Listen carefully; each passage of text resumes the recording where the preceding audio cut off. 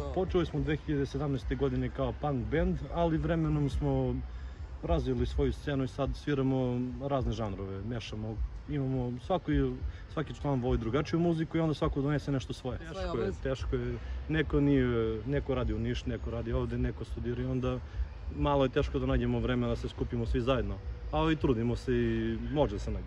Je li ovo uživanje, b- ipak, eto, do 2017. ako sam dobro razumela, Da.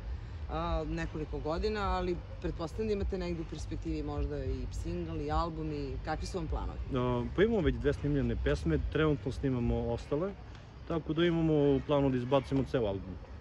Što se tiče publike, ima li? Ima, ima. Imamo, publiku koja nas već prati, da kažem, našu publiku, ali svakako dođu novi ljudi često komuniciramo sa njima i nalazimo nove fanove često. Do sada je, pretpostavljam, to bilo onako preko interneta, preko YouTube-a, sada je to uživo svirka.